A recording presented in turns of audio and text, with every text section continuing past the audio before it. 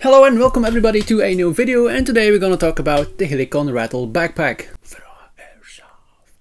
The Helikon Ratel backpack is one of the first packs that I bought for bigger games. It was a long struggle to find the right backpack for the games that I play and uh, that fits my game style.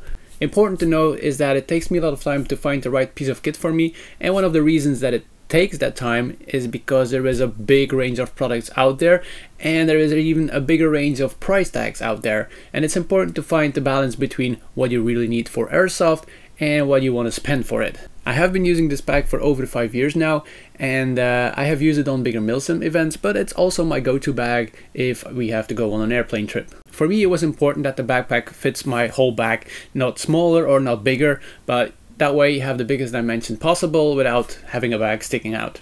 Because it almost covered the whole bag, I had a bigger load capacity and it didn't stick out as much as the normal day packs do. Also, we started using the German foldable mats and they have a specific dimension. I don't like to put things on the sides of the bag. I like to have my things inside the bag and uh, those German folding mats are perfect for almost any occasion. You can use them to sit on, to sleep on, uh, just to keep you dry, and they fit perfectly in inside this bag. The bag itself is 25 liters and it has uh, three pockets, one big and two smaller ones. The model that you see here is the first version of the Helikon Ratel and Helikon came out with the MK2. Uh, there are some small changes to the newer version, but they roughly uh, are still the same backpack. The pack itself is 20 centimeters thick. Uh, it's 29 to almost 30 centimeters wide and it's 51 centimeters high. I paid around 60 euros for this bag, but the newer one is around 70-75 euros, uh, depending on uh, the site you buy it from. The pack is also available in a lot of colors. You have green, black, coyote, OD, green, multicam, and uh, the Polish camouflage. As you can see, I chose the OD version because it OD fits with everything. So it has a detachable hip belt my version has the wider belt with some MOLLE loops, the newer MK2 has a smaller belt, and I was a big fan of the bigger belt because it gave a lot of support and it held the back really uh, where it needed to be. On top it has a very heavy duty carry handle. I use this carry handle every time if I have to throw the pack to somewhere and it has no wear on it whatsoever. In the front you have a velcro ID panel where you can attach your uh, patches that you want but for us it's important to put our name or a special patch on it because a lot of the guys have the same pack and when you have a pile of Ratel packs it's important to find and take the right one.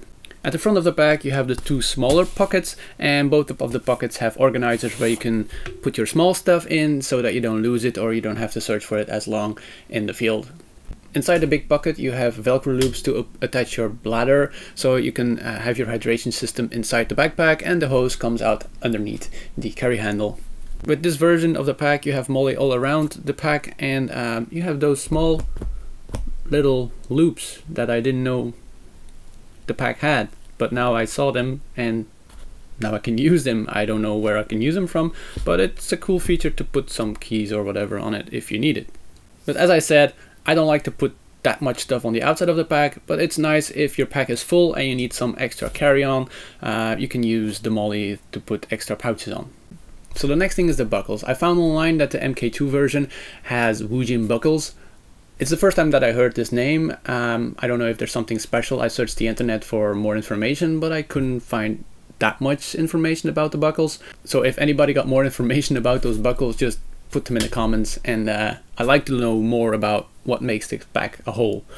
And then one of the important things of the backpack is the straps. Those straps are very comfortable. I have no problem wearing it for a long time. Uh, they're really padded and they're really ventilated and I like them very much. So this bag has a stiffened back and I like that very much because if you are filling up the pack, the pack keeps its shape as much as possible and it's not crumbling in completely, it keeps its shape. And the last thing is the zippers. With the MK2 version they use the YKK zippers and we all know they are very durable zippers. Zippers. With this one I checked it but let me check it again.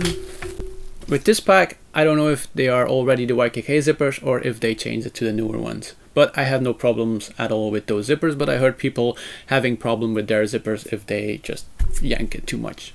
So those are all the things that you can find online and a little bit of my uh, personal touches. Um, but why did I choose this pack? So I was looking for a pack that could fit all my gear for longer events up to 24 hours and um, this pack came out price quality wise as the best choice. So it's also the first pack that I bought for the bigger games, so it needed to fulfill multiple roles. I also had to take it with me on the smaller missions because I only had one pack. Now I use this pack for every game uh, between 12 to 24 hours. Uh, with the shorter missions I have another backpack to use for.